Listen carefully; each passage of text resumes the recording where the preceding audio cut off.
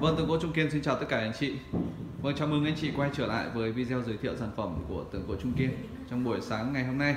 Vâng, trong buổi sáng mùng 2, tức là vẫn là ngày đầu tháng đúng không ạ? Bên em sẽ đưa lên cho anh chị ngắm nhìn một siêu phẩm tiếp theo. Vâng, và anh chị đang nhìn ở trước màn hình đây ạ. Vâng, nhân vật chính của chúng ta một chú đại bàng, một chú đại bàng tung cánh chế tác trên chất liệu gỗ xưa anh chị nhé. Dòng gỗ xưa thì anh chị cũng biết được đây là một dòng gỗ rất là quý và có giá trị rất là cao đúng không ạ? Và thường thường dòng gỗ xưa chỉ dành cho những bậc vua chúa ngày xa xưa, ngày xưa, đúng không ạ? Ngày xưa thì không phải ai cũng có khả năng sở hữu cho mình được những cái tác phẩm bằng gỗ xưa như thế này. Nhưng mà tuy nhiên cái ngày nay thì à, à, do kinh tế phát triển nên có nhiều anh chị có à, điều kiện thì hoàn toàn cũng có thể sở hữu cho mình được những cái sản phẩm bằng chất liệu gỗ quý, chị nhá. Và như anh chị đang thấy, nhìn tổng quan đây đây là một chú đại bàng với dáng thế đang tung cánh đang tung cánh bay trên bầu trời. Với đôi chân thì đang với những móng vuốt rất là sắc nhọn đang chuẩn bị nao xuống vò mồi đúng không ạ? Và đại bàng thì anh chị cũng đều biết được trong phong thủy thì có một ý nghĩa rất là tốt đó là ý nghĩa về chấn trạch trừ tà và xua đuổi những khí xấu những cái điểm xấu xua đuổi kẻ tiểu nhân đúng không ạ? Thì chính vì đó mà à, đại bàng có một ý nghĩa rất là lớn ở trong phong thủy nhá. Và thêm một cái ý nghĩa nữa đó là đại bàng là một loài vật à, rất là kiên cường hiên ngang và vượt lên mọi sóng gió. Vâng bất kể là bão to lớn như thế nào thì đại bàng của chúng ta vẫn có thể hiên ngang băng qua một cách dễ dàng. Chính vì đó là đại bàng luôn được tượng trưng ở trong công việc đại diện cho cái việc mà thăng tiến nhá. Vâng thăng tiến luôn đấy ạ. Vâng ý nghĩa thì như vậy thôi. Còn bây giờ thì em cũng xin phép được thông báo kích thước cho tác phẩm này của chúng ta. Vâng chú đại bàng. Vâng đại bàng này có chiều ngang 1m15 ngang à, chiều cao 54 và chiều sâu là 22 anh chị nhé Vâng với một kích thước cũng khá là lớn luôn. Và tác phẩm này thì em cũng chia sẻ với anh chị luôn à, là đây tác phẩm dùng để treo trên tường nhá Về phía sau em cũng có gắn một chiếc móc để giúp anh chị là có thể treo lên trong phòng khách trang trí trong phòng khách thì rất là đẹp luôn ạ Vâng, bây giờ em sẽ quay tiến lại gần để cho anh chị chúng ta sẽ cùng ngắm nhìn xem xong siêu phẩm của chúng ta ngày hôm nay có những gì đáng giá nhá. Vâng, điểm đáng giá đầu tiên thì chắc chắn là về chất gỗ rồi. Còn tiếp theo chúng ta sẽ cùng ngắm nhìn à, là độ hoàn thiện cũng như là à, sự tỉ mỉ kỳ công của người nghệ nhân em dồn vào trong tác phẩm này ạ.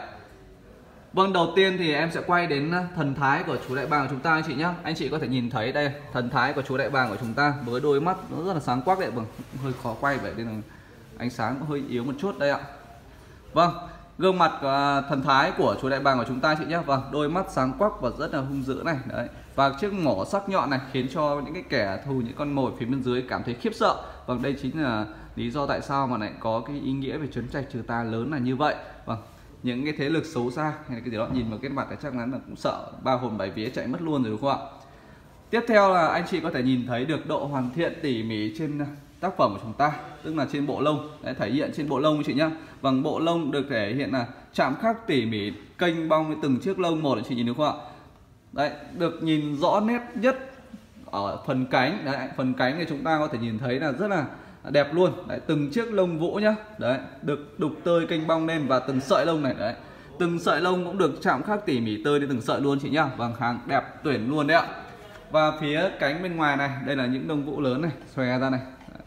Rất đẹp luôn nhá chị nhá. Và tìm được một cái phôi gỗ mà để tạc nên cái tác phẩm này thì à, phải nói là cái phôi gỗ cũng khá là lớn luôn đấy ạ.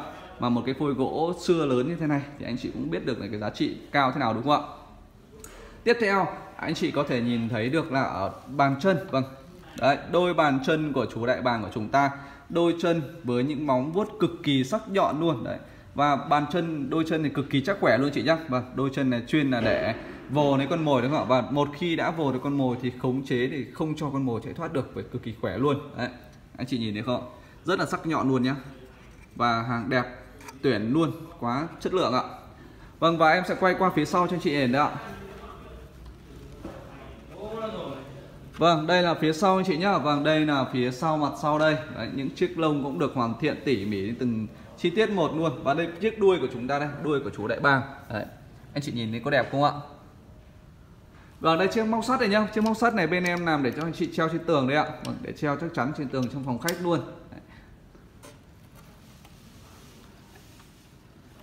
Vâng, quay trở lại với chiếc cánh này, anh chị nhìn em sẽ nhìn theo cái chiều này nhá. Anh chị có nhìn thấy không? Cánh này là bên em cũng làm theo độ uốn lượn này, độ mềm mại tức là có chiều sâu luôn đấy nhá. Chứ không phải là làm một cái à, cánh theo cái kiểu chiều phẳng theo tờ giấy đâu nên cách điệu lên rất là đẹp ạ giống ờ, khi cái đôi cánh này đang ờ, lái gió để băng qua những cái đợt bão táp đúng không ạ vâng như vậy thì em vừa giới thiệu xong cho anh chị uh, tác phẩm uh, đại bàng chỉ tác cho chất liệu gỗ xưa trong buổi sáng ngày hôm nay rồi. Và em xin phép được báo giá cho tác phẩm ạ. Tác phẩm anh chị đang à, ngắm nhìn đây. Một siêu phẩm VIP này. Bên em đang giao lưu với giá chỉ có 26 triệu đồng chị nhé. 26 triệu đồng cho một chút Vâng à, 26 triệu đồng cho một chút đại bàng. Vâng có sự cố một chút rồi. Và mất một điện rồi nhưng mà may quá em vừa giới thiệu xong rồi nên bây giờ em xin phép được báo giá luôn. Vâng chỉ có 26 triệu đồng thôi. Anh chị nào muốn chốt tác phẩm này thì hãy comment chữ chốt kèm theo số điện thoại và anh chị đừng quên là số điện thoại cái đường dây nóng của bên em là 0822 338 345 và 0944 812 986 anh chị nhé. Và địa chỉ của tổng gỗ Trung Kiên nằm tại quốc lộ 38 là nghề Đông Giao Lương Điền Cẩm Giang Hải Dương ạ. Vâng, anh chị nào vẫn chưa đăng ký kênh thì hãy nhanh tay đăng ký kênh tự gỗ Trung Kiên và bấm vào chiếc chuông nhỏ để nhận thông báo chị nhé. Vâng, vì do thời điện mất rồi nên có lẽ em giới thiệu như vậy thôi. Anh chị nào ủng hộ thì hãy cho em lượt like ạ. Còn bây giờ xin chào và hẹn gặp lại anh chị trong những video lần sau ạ.